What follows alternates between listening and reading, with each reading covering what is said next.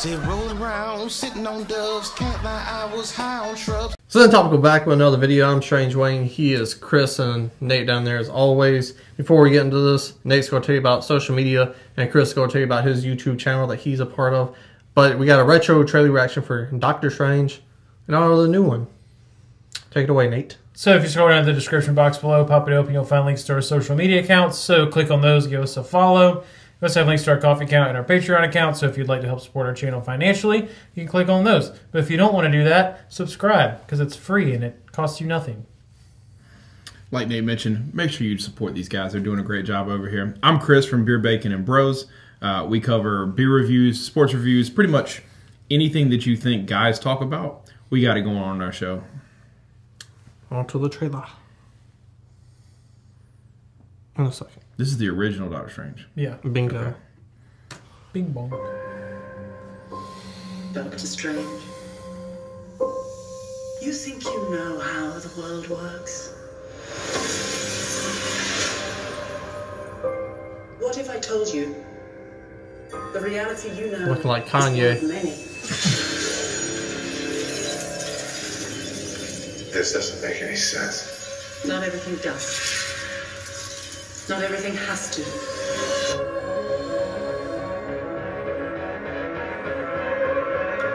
That's the Transformers movie slogan. arts, we harness energy and shape reality. We travel great distances in an instant. How do I get from here to there? You become a doctor? Study and practice, years of it.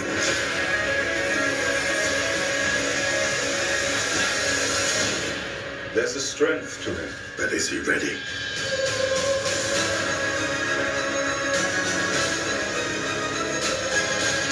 Be careful which path you travel down, Strange.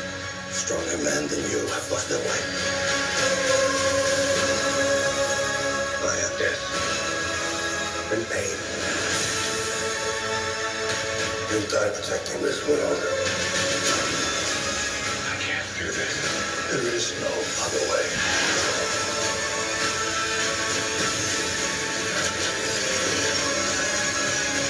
I've spent so many years clearing through time. Looking for you.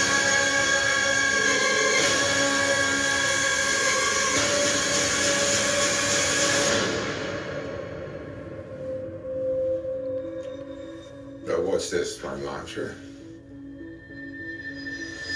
It's the Wi-Fi password.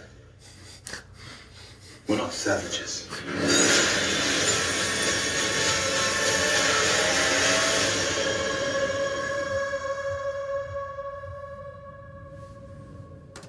It's one of my favorite parts of that movie. The Wi-Fi password. Really nice. Probably the best. It's debatable. As a trailer, it did a good job showing the world. But as a movie, I don't really care about this movie. Like Mad, what was it Mad Mads Mikkelsen. Yeah, I've had relationships last longer than he was in this movie. He was a jabroni. So as a movie, I think it's very underwhelming. Am I lying? But that's a great trailer. Yeah, Marvel always makes a point with their trailers to misdirect, you- like a, a lot of misdirection, right? They don't want you to have any fucking clue what movie you're about to go see. They just want to give you enough to go see it. So obviously, now having seen the movie, we know that this trailer shows almost nothing about what really is where this movie ends up and things like that, which to me makes it an excellent trailer. It does what it, it's just trailers are marketing. The job of a trailer is to get your ass in a theater to watch the movie, and like it worked. I enjoy Doctor Strange. I like the movie, uh, but that trailer is fire. It's an excellent trailer. Yeah, I mean, this was kind of like the peak of when Marvel started to really put out some fire trailers and get you motivated to come see these movies. And um, I was going to hit on exactly what Nate said. I mean, you you watch this, tra- having seen this movie, and now watching this trailer, and there's like there's voiceovers in scenes that they're they're not pairing up together, you know.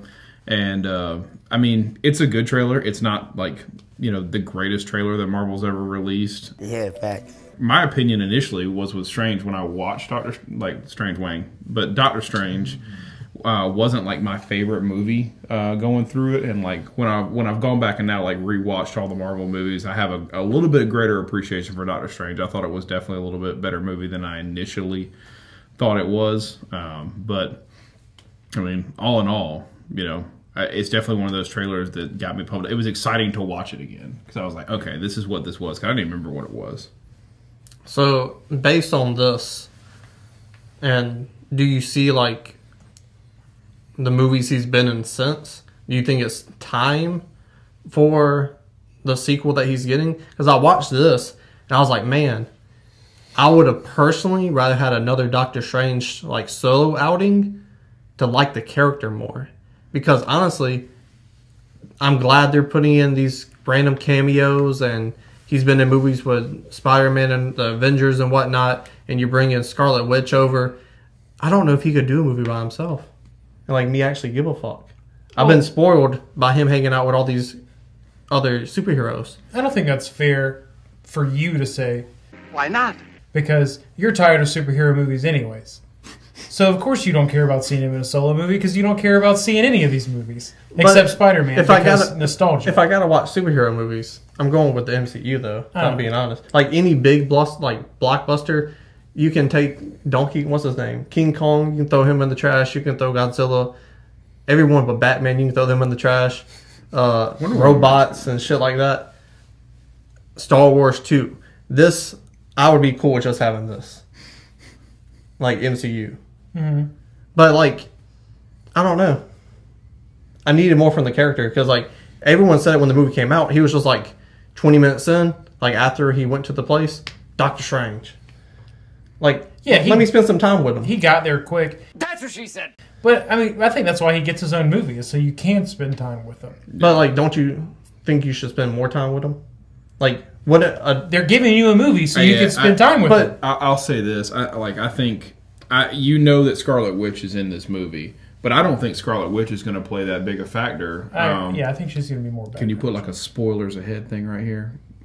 for what? All right, because when you watch No Way Home, he's really I haven't that that. he's really not that big a factor in No Way Home, right? I mean, he's just. I I think Scarlet Witch is going to play the same thing in Multiverse of Madness Okay. that Doctor Strange was. I think she's going to be there. There's going to be some conversations around. it. I don't think she's going to be in it, but I think you're going to get another real solo movie, and you're going to see some deep. Dark, messed up stuff in Multiverse of Madness because it's going to be more. I don't. I think it's going to be less about Doctor Strange and more about Stephen Strange and and his personal conflicts and and things yeah. like that. Well, that's what I was going to say. Like Doctor slash Stephen Strange.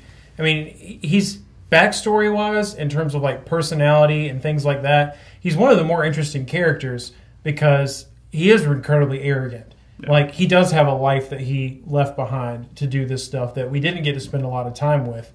Um, and his arrogance obviously plays a huge part in like how things happened in Spider-Man. So yeah, I want to like that's what I I want more of the character. So like I agree with you. I do want more time with him, and I hope that that's what Multiverse of Madness is because obviously there's going to be a shit ton of the new characters probably introduced in the movie because multiverse and all this stuff. But I hope that we get some time like with him and Rachel McAdams again.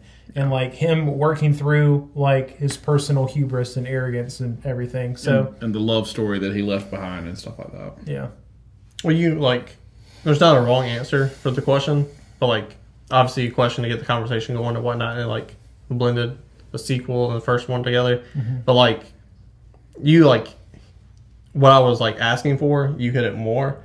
Like all these people coming in, Charles Xavier, Scarlet Witch, how much they gonna be in the movie? Mm-hmm. And I think I don't, I don't think they're gonna. I, I think it's gonna be. While it's it, it's. Like ten minutes here, ten minutes there. I think we have the panic of what Civil War was. Like it wasn't really a Captain America movie. It was an Aven- It was a mini Avengers movie. I, I don't think Multiverse of Madness is going to be that movie. I think Love and Thunder will be that style of movie. I do think Multiverse of mm-hmm. Madness is going to be a little bit more about Stephen Strange because they're really. I think Marvel's kind of playing with who's going to be the next Tony Stark, Iron Man, uh, you know, Captain America. Who's going to be the Who's going to be the favorite character that people want to see on the screen? And I think they're going to play, take a little play at Doctor Strange and see if he can be that guy. Yeah, I wouldn't be surprised. Like there will definitely be like cameos throughout Multiverse of Madness. I wouldn't be surprised if most of like the big character reveals happened in like the last twenty minutes of the movie. Yeah. because because like we were talking about, they misdirect the hell out of people on purpose with Oh, the trailers. So Well, I hope you guys are right, and it's a Stephen Strange movie. Tell us down low what you think. Let's go back up, hit the like button, share the video, and subscribe.